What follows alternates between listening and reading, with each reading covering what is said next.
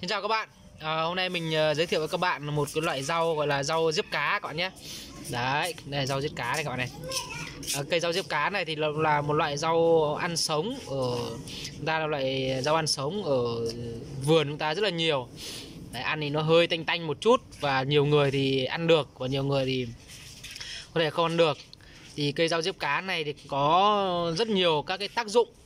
Đấy, hôm nay mình sẽ giới thiệu những cái tác dụng của cây rau diếp cá để chúng ta cùng biết. Các bạn nhé.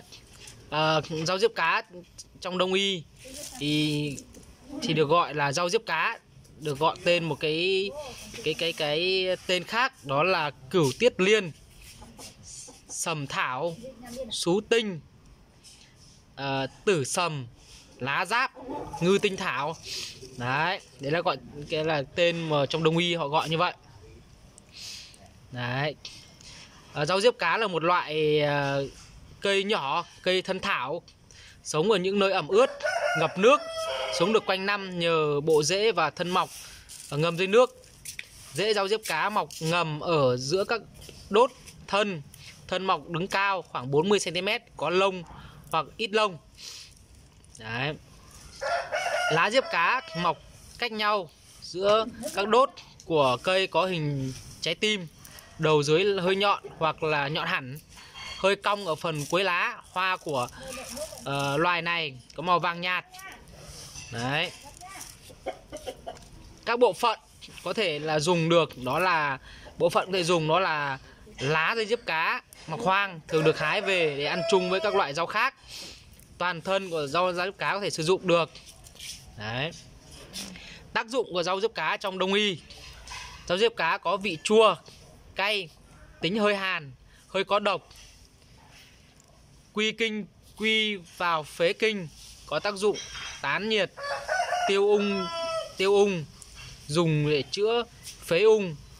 Ngoài ra còn chữa các bệnh về trĩ vết lở loét thông tiểu chữa bệnh mụn nhọt kinh nguyệt không đều, côn trùng cắn, viêm amidan, cảm lạnh, ho gà, kết lị, tiêu chảy, ờ, trúng thực, cảm lạnh.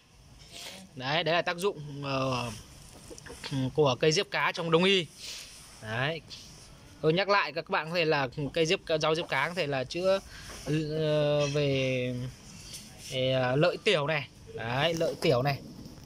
Đấy đi trị đái buốt điều trị sốt đấy điều trị sốt. Đấy việc cầm máu này việc cầm máu đau rát đỏ này.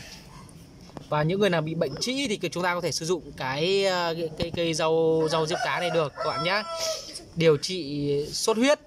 Đấy. Điều trị viêm tay giữa. Đấy điều trị viêm tay giữa. Điều trị viêm phổi. Điều trị viêm phổi. Đấy đấy điều trị các bệnh về sỏi thận. Các bạn nhé những bạn nào bị sỏi thận có thể dùng cái rau diếp cá này được. Điều trị táo bón. Đấy điều trị viêm ruột viêm thận phù thủng. Điều trị bệnh kiết. Đấy điều trị sởi mụn nhọt.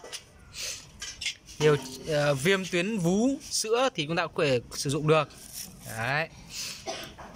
Điều trị tắc tí tắc tia sữa. Rồi điều trị uh, điều hòa kinh nguyệt đấy chúng ta thấy là uh, rất nhiều tác dụng. Đấy điều trị viêm âm đạo cho các chị em. Đấy. Điều trị quai bị điều trị chứng phế ung gây nôn ra máu và mủ. Đấy giảm sốt cho trẻ nhỏ kháng viêm.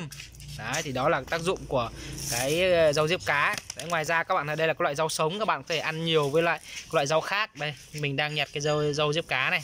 Đây loại các loại rau rau sống khác nữa đấy. Rồi mình vừa mới giới thiệu các bạn về cây cây rau diếp quá cây rau, cây ờ, rau diếp cá các bạn nhé và cái tác dụng của nó. Đấy các bạn thấy hay hãy chia sẻ để nhiều người biết hơn nữa về cái tác dụng của loại cây này. Rất là phổ biến ở Việt Nam chúng ta là cái loại rau sống ăn thường ngày nhưng lại rất nhiều tác dụng các bạn nhé. Đấy. các bạn thấy hay ý nghĩa thì hãy chia sẻ để nhiều người biết hơn nữa vì đến cái ờ, cái loại rau này bạn hãy nhớ đăng ký kênh, subscribe, nhấn vào cái ờ, chuông ở bên tay phải để nhận nhiều video hơn nữa từ ờ, kênh của chúng tôi. Xin chào và hẹn gặp lại các bạn ở những video tiếp theo.